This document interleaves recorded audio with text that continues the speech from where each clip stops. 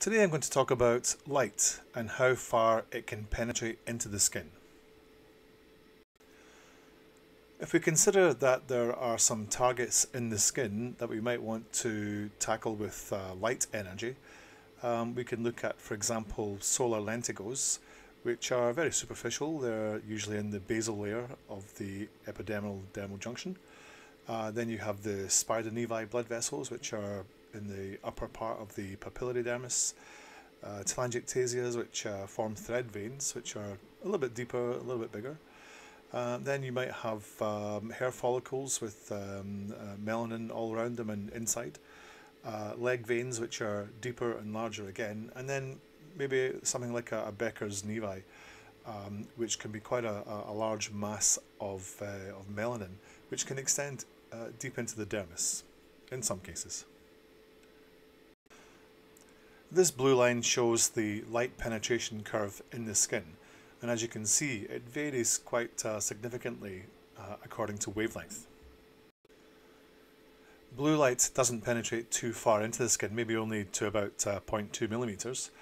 Green light may go down to around about 0.6 millimeters, yellow a little bit further, maybe a couple of millimeters by this point, but uh, red and near infrared light can penetrate the furthest into the skin.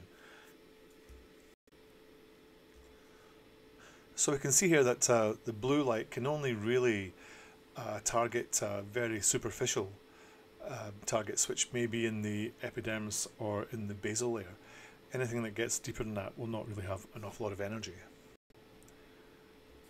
Green light uh, can penetrate a little bit further so it can be used for some uh, epidermal pigmented lesions and also for uh, some uh, spider nevi type vessels uh, because it's uh, green green is fairly well absorbed in uh, in hemoglobin in the blood. Yellow light can penetrate even further and is strongly absorbed by uh, oxy and deoxyhemoglobin. So this this wavelength is used um, a lot these days for the treatment of um, all sorts of blood vessels, including telangiectasia and and some some port wine stains. Red light has the deepest penetration in the visible spectrum and this is used to treat uh, deep uh, targets like hair follicles and uh, the deeper blood vessels. It is important to understand how the light penetrates into the skin.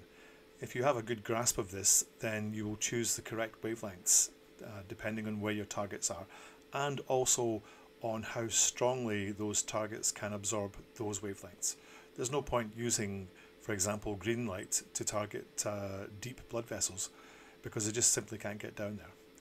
Hopefully this makes, uh, makes a bit more sense. Uh, you can find more um, material on our blog or at our, uh, our YouTube channel uh, at Laser IPL Guys. Thanks for listening.